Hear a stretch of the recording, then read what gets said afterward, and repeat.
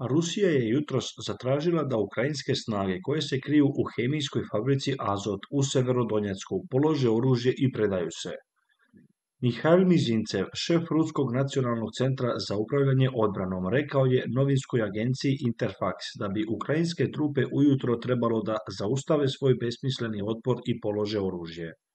Obećao je da će civili moći da se evakuišu kroz humanitarni koridor, iako njegove reči dolaze dan nakon što je objavljeno da su dva od tri mosta izvan grada uništena, a treći je star i nesiguran. Ukrajina je saopštila da je više od 500 civila i neodređeni broj vojnika zarobljeno unutar Azota.